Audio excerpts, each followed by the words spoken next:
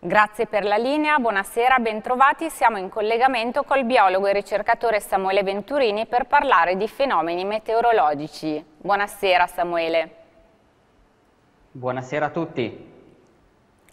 Parliamo degli episodi recenti in cui dei fulmini hanno provocato anche eh, delle morti. Quindi eh, che cosa sono innanzitutto i fulmini e come si formano? Sono fenomeni atmosferici elettrostatici. Ma come si formano?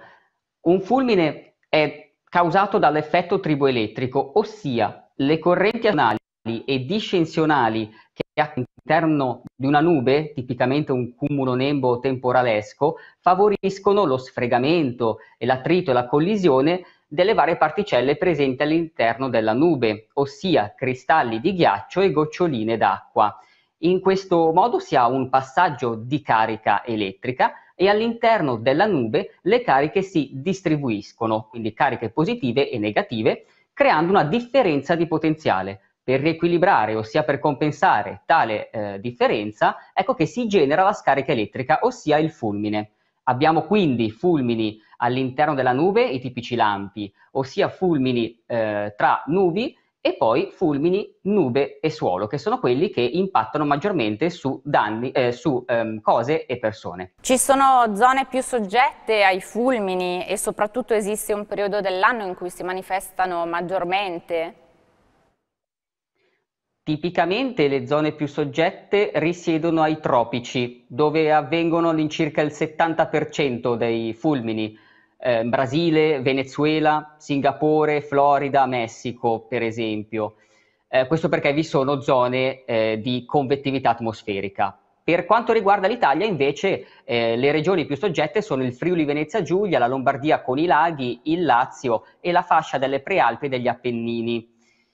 E, ehm, per quanto riguarda invece eh, la periodicità, ecco che possono accadere tutto l'anno, ma tipicamente in estate, ossia da giugno ad agosto nell'emisfero settentrionale, da dicembre a febbraio nell'emisfero meridionale. Ora le chiedo se è un fenomeno in aumento e poi che precauzioni si possono prendere.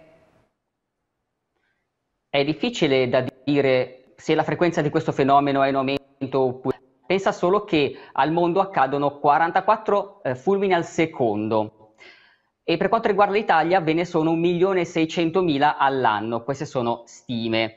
Naturalmente eh, non possiamo basarci sul numero di vittime che nel mondo sono all'incirca 4.000, mentre in Italia sono all'incirca 20-30, però sempre anche dalla presenza delle persone e dai loro comportamenti. Ecco che è importante eh, utilizzare delle precauzioni, per esempio restare chiusi in casa quando c'è il temporale con fulmini e quindi stare lontano da finestre, da rubinetti e da eh, strumenti cronici. Se sei in macchina col tetto coperto, restare in macchina, altrimenti se si è fuori non toccare i metalli e andare verso il fondovalle. Grazie Samuele per il suo contributo. Ora la salutiamo. Grazie, arrivederci e restituiamo la linea allo studio.